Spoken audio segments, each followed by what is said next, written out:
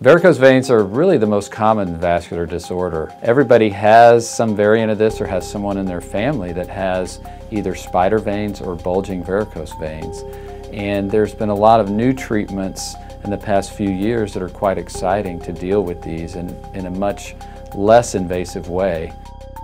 The most common cause is heredity. It tends to run in families, certain occupations, people that are on their feet a lot, such as doctors, nurses, teachers, people that work in factories, uh, have a tendency to develop varicose veins because their feet are, and legs are always down, and so gravity takes a toll over the years on the veins in their leg.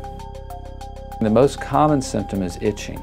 Also achiness, tiredness, heaviness, numbness, tingling, stinging, burning, a variety of different symptoms.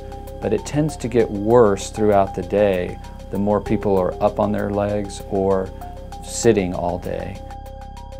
There are ways to prevent or slow down the formation of varicose veins. One is if you're in one of those occupations where you have to stand a lot or sit a lot, you could wear some support hose. This compression hose help compress the veins and prevent blood from pooling in the leg. They come in a wide variety of colors and styles. The problem with that on a long-term basis is a lot of patients just don't want to do that all day, every day, especially when it is very hot out in the summer and they want to wear shorts. And so those patients, after trying some of the elevation and compression therapy, then they come to see us for a more comprehensive treatment for their varicose veins.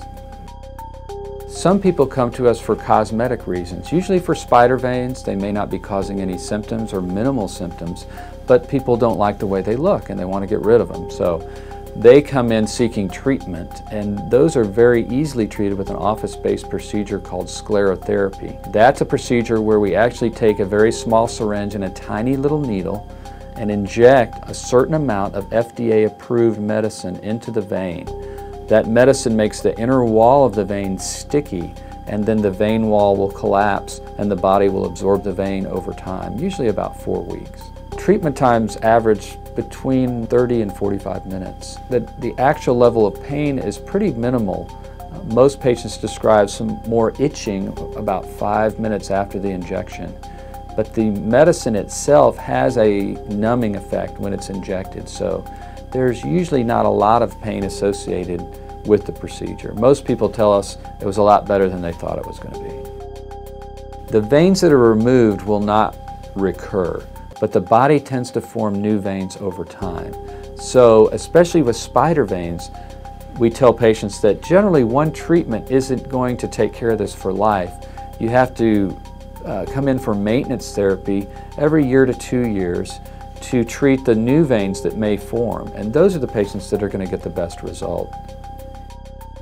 After spider veins, patients can develop larger bulging varicose veins which actually protrude above the surface of the skin. Generally, if that gets bad enough with symptoms, we can usually help those patients out with a variety of minimally invasive procedures.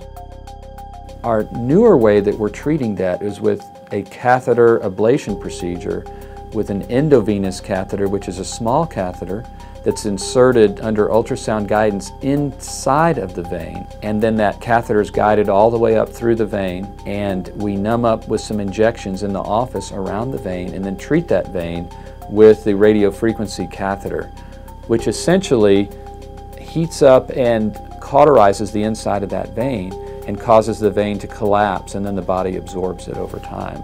So essentially it accomplishes the same thing as a vein stripping operation, but patients do not have to have surgery, they don't have to be admitted to the hospital.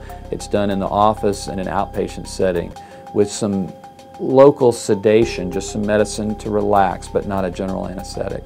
So patients can walk immediately after the procedure. We also have a minimally invasive procedure called a microphlebectomy. That is a procedure where we make tiny little incisions for the surface veins to remove those with a special tool.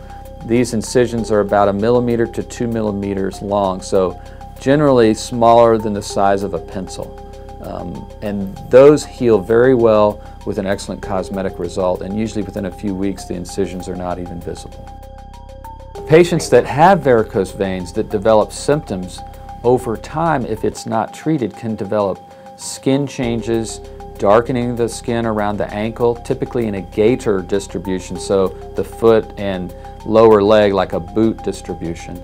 That skin gets dark brown and leathery, and then over time that skin can break down and form ulcers where, the, where a large red open sore develops, and those can be very difficult to heal.